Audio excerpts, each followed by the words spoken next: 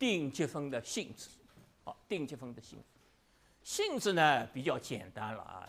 基本性质，首先第一条啊，如果两个函数 f 和 g 都是可积函数，那么怎么样呢？第一条叫线性啊。线性呢，由于大家学了线性代数了，啊，线性就比较好理解了。而且我也经常说线性这两个词。线性什么东西呢？加法和速乘。你看这里边就是加法，前面乘了一个常数就是速乘。你看什么意思？说的简单一点就是 f 和 g 的线性组合求积分，可以先求积分再做线性组合。那么线性组合什么意思？就是加法和速乘了。两种运算在一块儿，对吧？好，也就是积分，两个函数和的积分等于积分的和。函数乘常数做积分，等于先做积分再乘这个常数。第二，乘乘积的可积性，两个函数都可积，那么它们的乘积一定是可积的。有没有上面这个公式呢？有没有这个？哎，那就是乘积的积分是不是等于积的乘积？积的积分的乘积呢？对吧？这个稍微想一想，微分里边怎么样？微分里边也没乘积的导数，不是说导数的乘积，对吧？所以可以想象，大概不行。所以对，咱们没有说，只说乘积是可乘积有可积性，两个函数可积。乘积也是可积的。第三，可加性，可加性不是线性里边不是已经有可加性了吗？不是这个。对区间的可加性，什么意思？看一看。如果 a、b 里边有一点 c，c 在 a、b 里边，那么如果 f 是可积的，那么小这个 f 啊。一定在两个小区间也是可积分的，大区间可积，拆成两个小区间，依然可积。倒过来，两个小区间可积，在大区间上也可积，而且有这个关系。下面这个关系，你看，什么关系？大区间上的积分等于两个小区间上积分的和。这个太好理解了，这个不用什做什么解释，是吧？你算这个量嘛，总量嘛，我把它切成两段，区间分成两段，分两段算，算起来当然加起来就是总量，这没什么问题，对吧？太好理解。保序，保序，怎么保序？如果 f 大于等于 g，两个函数一个大一个小，那么怎么样呢？它们的积分依然保持这个次序。做这个运算以后，依然保持这个矩形。保序在在求极限里面也有的，记得吧？也保序的。一个函一个函数比另一个函数大，那时候是大于等于零。函数大于等于零，求极限以后依然大于等于零，这也是保序啊，那这是一样。啊，做了这个运算以后，保持不等号的方向。注意，求导数没有的，求导数不保序。对吧？求极限保序，积分保序啊，定积分保序，这当然也好理解了，是吧？一个大的一个量，平均分布率大，它当然算出来总量也大，是吧？这好理解，是吧？好理解。推论，正的函数、非负函数，它做的定积分也是做出来也是非负的啊。第二，如果这个函数夹在两个值之间，小 m 大 M 之间。那么做出来的定积分呢，一定小于小 m 乘以区间长度，超呃大于这个这个数，小于大 M 乘这个区间长度，这也太好理解了。从几何上很好理解，曲边梯形，最高的地方你画一条线，最低的地方也画一条线，那么就有两个矩形了。显而易见，这个曲边梯形怎么样？它的面积。在这两个矩形面积之间，好理解吧？太好理解了，啊？绝对可接性，什么意思？如果函数是可接的，它的绝对值依然是可接的，而且保持这个符号。这个符号什么意思？啥意思？当然，有的同学说，那不就是呃积分的绝对值小于绝对值的积分？本来有负的，算翻到上面去了，当然大，对吧？本来是代数和，现在变成这种别的，这个实际上就是什么东西？实际上就是中学里的学的三角不等式。不过三角不等式就是两个数和的绝对值小于它们绝对值的和。现在我去我推广到什么程度了？这不是和吗？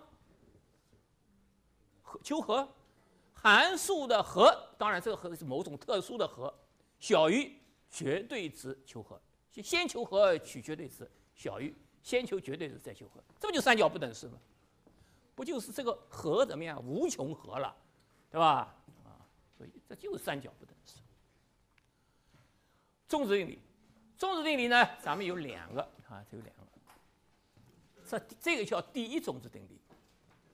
你看，f 是连续函数，g 呢是可积函数，g 是不变号的，那么一定存在可 c，存在一个点可 c，满足这样一件事情。满足这样一件事情，满足什么呀？满足 f 乘 g 的积分等于 f 克 c 乘上 g 的积分。如何证明这件事情？首先，我们说这是一个什么结论？存在性结论，就是一定有一个点克 c。存在这个等式成立，这就是一个存在性就可是你在哪儿说没说？只说在这个区间里边这种结论叫存在性结论。存在性结论，咱们以前学过有几个？有几个地方学过？啊？什么地方学过？哎，中子定理那地方学过，对吧？什么拉格朗日定理啊、罗尔定理这些，还有什么地方学过？零点存在定理，这个女孩子讲的蛮好，呃，她很她长得蛮蛮蛮清秀，讲讲这件事也讲得很干净很清楚，啊，很好，哎，哎，以前学过东西你不能忘了。好，那么我们看看这个地方大概能用谁呢？咱们想用这个证明怎么证明？当然我们一般说来，我们不强调你会证，但是作为自己学习，咱们要。对高等数学微积分东西要理解，有的时候证明自己应该要求想一想这件事情为什么成立。哦，那么请注意这个式子啊，这个式子，这个式子里请注意，并没有出现 f 的导数。那我们很应该说比较自然的想，那大概可能没有不用到中子定理，微分中子定理大概不用，可能用 B 区间上连续函数的性。对吧？好，我们把这个 f 克 c 写出来。我曾经讲过，我们想用这个东西，我们最后总归希望写出一个结论。那个结论是，把我们希望这个结论能够和我们前面所学的定理最后那个结论的形式相符。那么改变它了，因为现在这个是 f 一撇克 c 哦。那如果我改写一下，就是 f 啊没有导数，没就是 f 克 c 等于谁呢？咱们这个证明主要是做一些分析，对为什么这个定理成立啊，做一点分析啊，这有利于我们对相关知识的解决。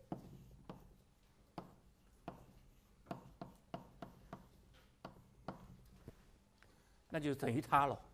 那么如果当然我们也可以改写一下，就是它等于零了，对吧？就是这件事情对不对了？那么。可 c 应该什么样？在两头了，在 a、b 两头，a、b 两头，那它是不是一头一头大于零，一头小于零了？对吧？但是这个东西怎么样？需要分析这个东西的值了。对这个东西，现在我们知道多少？非常少，非常的少，对吧？就是一个 f 是连续的。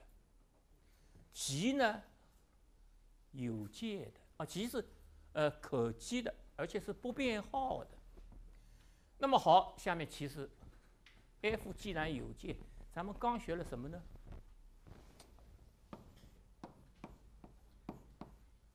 有界一定怎么样啊？f 必须间连续的，一定什么样？有最大值、最小值了，最小值、最大值。那么好。如果它乘上极呢？极不变号的，我们先假定它大于等于零吧。先假定极大于等于零啊，先假定这种情况，不变号大于等于。好了，那么这个乘保保号 m 乘 g，。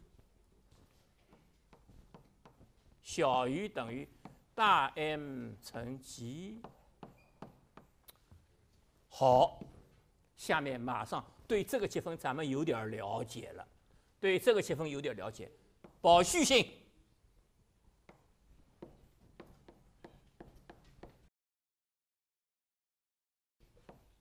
大于等于谁？这个东西做积分，性质里边有一条什么线性？这个 M 怎么样？拿出去。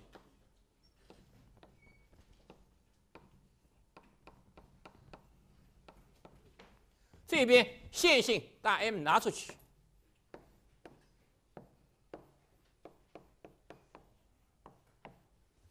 看到这个地方，你心里有点什么感觉？你有点什么感觉？你是不是觉得哎，好像离我们的结论有点靠近了？看一看，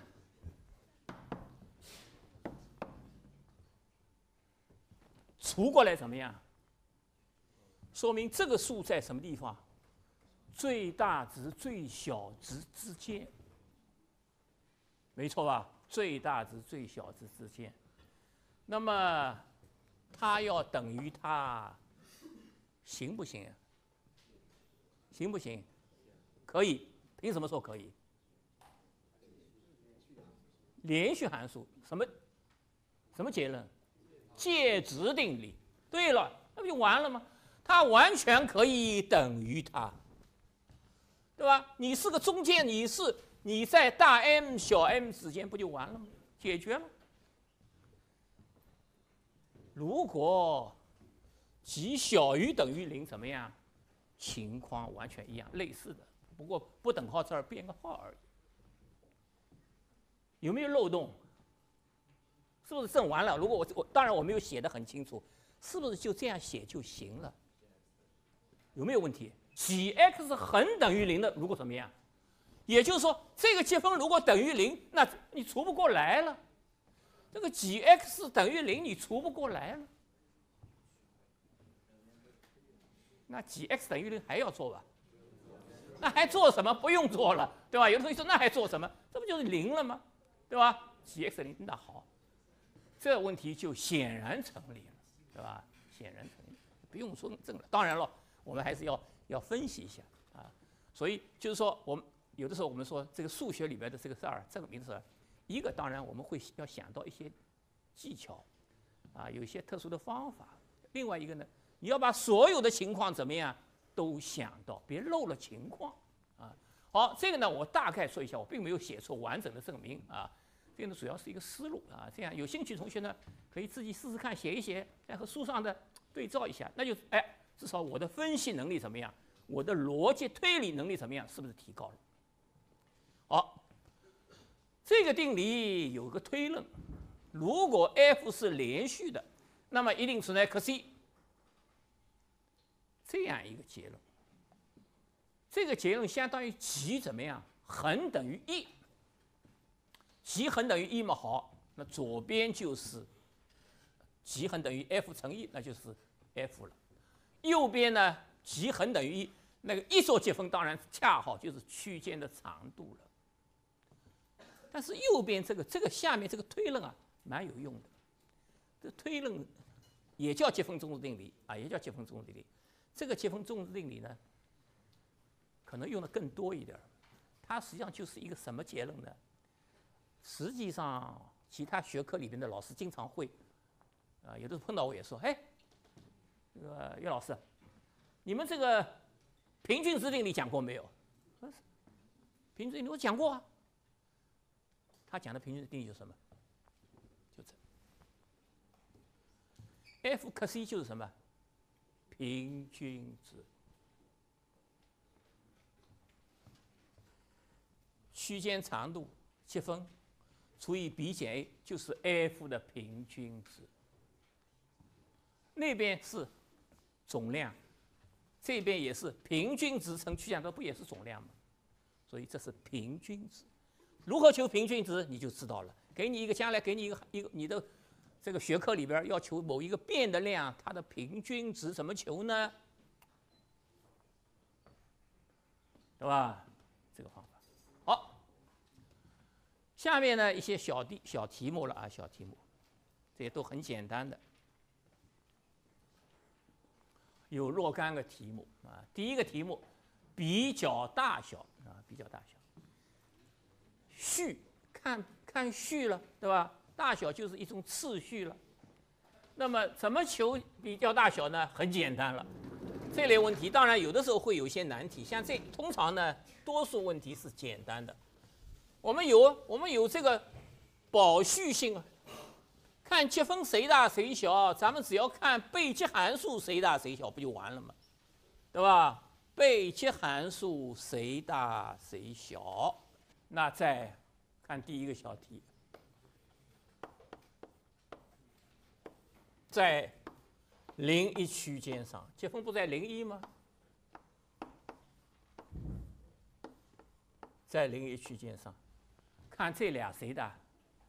一的负 x 和一的负 x 平方，谁大些？谁大些？哎，这样一种问题，大家反应有点慢，但是我倒觉得是应该慢一点，因为怎么样？因为虽然很简单，但是有的有的时候这个函数因为又添了负号了，啊，这个 x 还在什么区间？在零一。所以要想一想，x 在零一区间，本来这个 x 和 x 平方谁大些呢？x 大一些，平方因为自己乘这个是个小于一的数，x 平方会小一些。但是负的，所以谁大些呢？负 x 平方比负 x 要大，没错吧？然后这个指数函数是单调增加的还是单调减少的？增加的，底大于一的吗？哦，这就清楚了。所以是这个方向，没错吧？哎，虽然这个小一点，但是添了负号了，大一点。好，所以马上得到什么结论？保序吗？太简单了。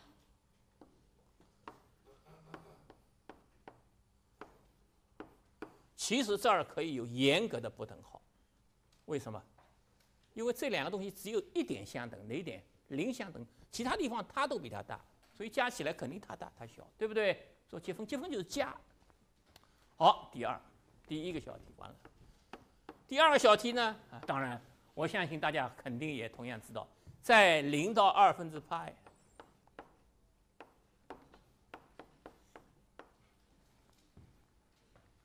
谁大些？sin x 怎么样？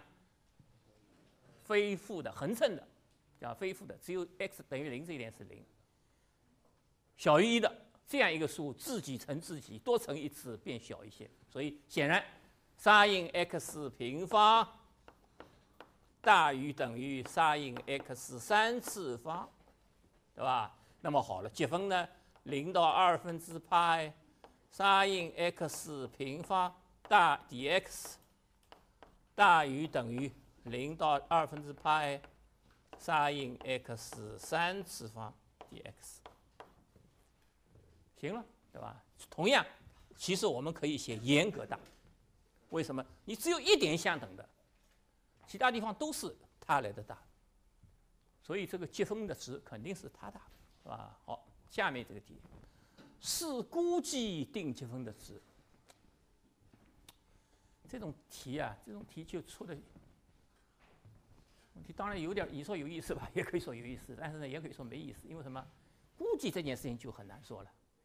那么你你估的大一点好了，你估的误差大一点，你怎么估都行，是吧？但这个题用什么？但是这也是让你用一下我们前面的什么保序性的那个推论，对吧？希望你能够从定积分的表达式，对吧？里边那个被积函数的情况来推出这个积分值的估计啊。当然，你估的有有的不同的同学做出来不一样，估的大一点、小一点，这不是核心，是吧？关键是看你能不能由被积函数的值它的范围来了解积分的值的范围。当然，我这个题也可以说的严格一点，这个积分值的最大值是最大不超过，最小不超过多少？最大不超过多少？也可以，对吧？它的它的这个值的最大最小值的范围，啊，你估计一下，对吧？那么实际上毫无疑问，这个第二个小题呢，这个实际上就是看先看它的函数喽，这个 f(x) 看看这个函数喽，谁被积函数，x 平方减两 x 的三次方，哎，平方开放。在负一到二，怎么样？我们看，要首先来讨论它在负一到正二的最值。什么叫最值？最大、最小值。那估好了不就完了吗？那马上说这个函数大于等于谁，小于等于谁？那么再一积分就情况了。好。那么我们看一下怎么做呢？求导数，这是谁呢？这个函数的三分之二次方，三分之二写到前面去，对吧？好，那变成 x 平方减二 x 的三负的三分之一次方。本来三分之二次嘛，减掉一次，然后这个东西括弧里边的量要求导数，好。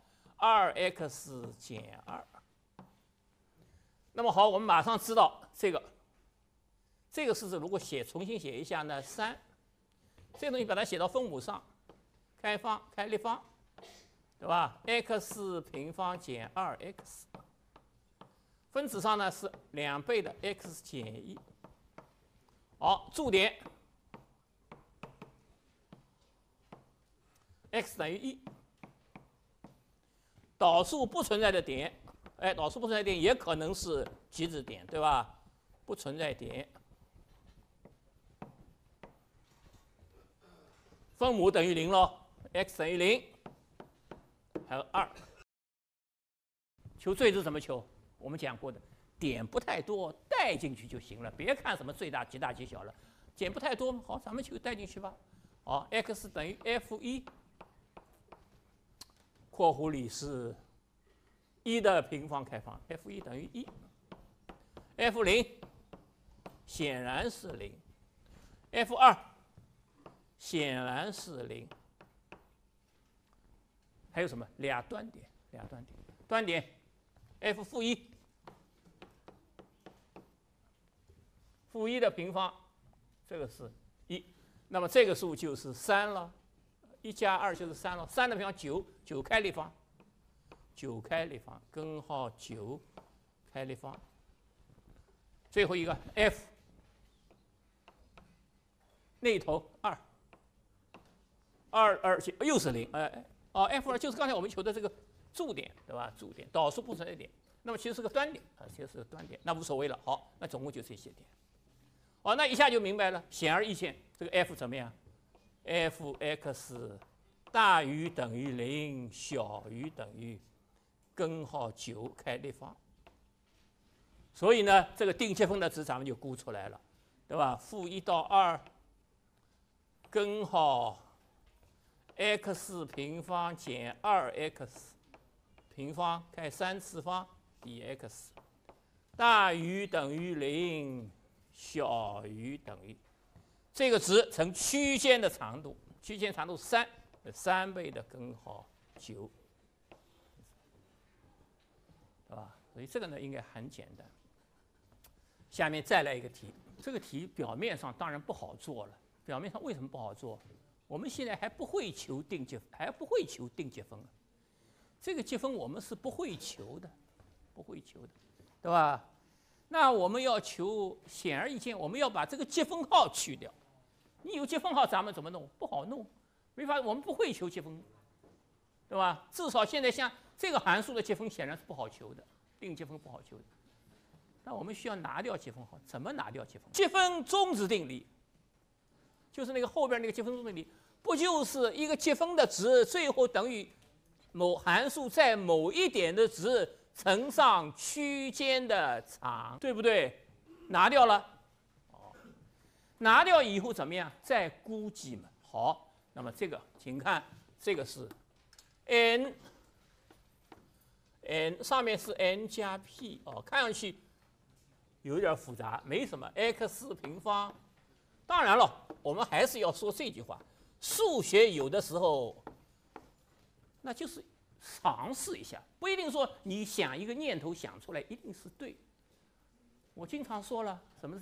我经常跟同学说：“You guess。”干嘛？什么 “You guess” 干嘛？猜一猜。你做那个托福考试，不里边也有这一条吗？有的时候你也许不会做，“You guess”。你猜一猜，猜一猜，咱们数学比那它还好一点为什么好一点我们猜一猜，我们还可以往下推，有的时候就推对了，推对了你就放心了嘛。好，积分中值定理等于谁呢？拿出去。好，克 c 平方一的负克 c 乘上区间的长度多少？p 常数 p。就说那怎么弄？这玩意儿克 c 怎么弄？克 c 在哪儿？大于 n，小于 n 加 p，在当中喽，对吧？在当中，有可能在端点啊。咱们可其实这个题没问题了，就在当中。那对它就可以估计了。你看，所以 p 克 c 平方，这什么玩意儿？这说穿了就是在分母上了。好。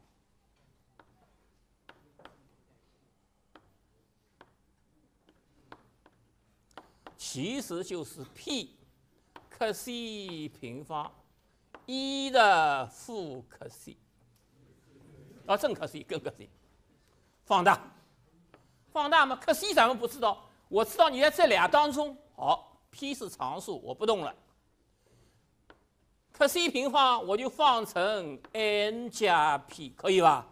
哎，这就为什么要放？我知道它是谁了，本来克 c 不知道，就反正里边一个数。它在这范围嘛，我放的了。下面怎么办？也放大，怎么放？小一点，在分母上吗？那边呢？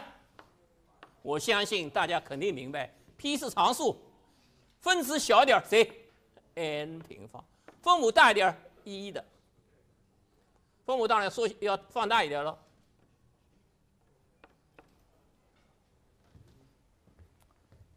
那就好了。求极限，这个极限，请注意，分子上什么函数？指数函数，x 趋 n 趋无穷的。分子上呢，多项式，几次？两次。记得讲罗比达法的时候，我讲过一个，大家还记得吧？指数函数底大于一的，哪怕你这个上你上面那个幂函数次方再高也没有用的，永远比出来怎么样？无法比拟。几派是过零，你幂函数小得很，所以请注意这个极限，常数 p 不去管它，上面是两次，下面是 e^n，这玩意儿趋无穷，我的速度远远超过你零。同样的道理，两次我下边什么指数函数。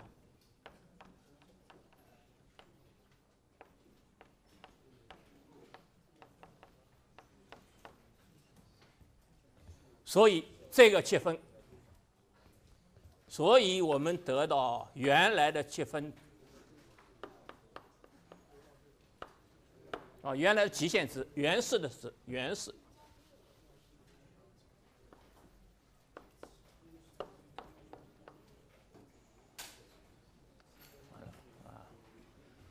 好，作业就这样啊。今天我们讲到这个地方。